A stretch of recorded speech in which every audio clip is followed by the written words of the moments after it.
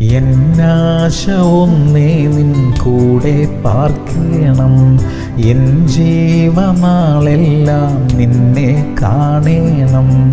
എന്നാശ ഒന്നേ നിൻ കൂടെ പാർക്കണം. എൻ ജീവമാളെല്ലാം നിന്നെ കാണേണം.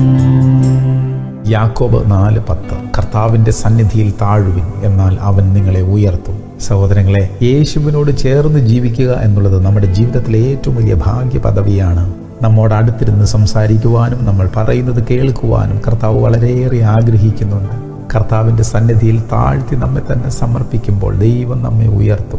ആ ഉയർച്ചയെ തടയുവാൻ ലോകത്തിൽ ഒരു ശക്തിക്കും സാധ്യമല്ല. ദൈവം നമ്മെ ഉയർത്തും. ദൈവം നമ്മെ മാനിക്കും. ദൈവം നമ്മെ അനുഗ്രഹിക്കും. പ്രാർത്ഥിക്കാം. ഞങ്ങളുടെ പ്രിയ കർത്താവെ ഞങ്ങളെ മാനിച്ച് അനുഗ്രഹിക്കുന്ന ദൈവമേ അങ്ങയോട് ചേർന്ന് വസിക്കുവാനും അങ്ങയോട് സംസാരിപ്പാനും അങ്ങയിൽ നിന്ന് കേൾക്കുവാനും ഞങ്ങളെ അധികമായി സഹായിക്കണമേ. യേശു ക്രിസ്തുവിന്റെ നാമത്തിൽ തന്നെ. ആമേൻ ആമേൻ ആമേൻ.